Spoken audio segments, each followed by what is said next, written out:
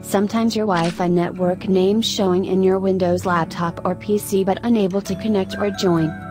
And the most common reason for this is, your system will try to connect with the old password, that might be changed by you or reset the router. But you don't remember. If you can't find the option for forgot Wi-Fi password, follow me to erase or forgot Wi-Fi password. Open Network and Internet options, by right-click on the Wi-Fi option in the bottom right status menu. Or, or follow straightforward steps. Or open Windows settings.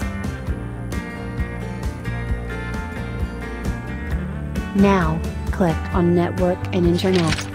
Click on Wi-Fi. Click on Manage Known Networks. Click on Wi-Fi network name and see the option for Delete Saved Password. Select Forgot and you are done.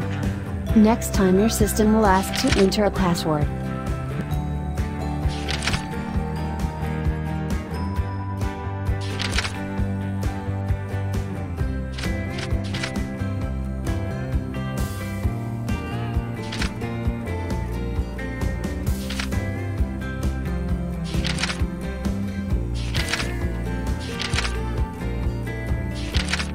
That's it.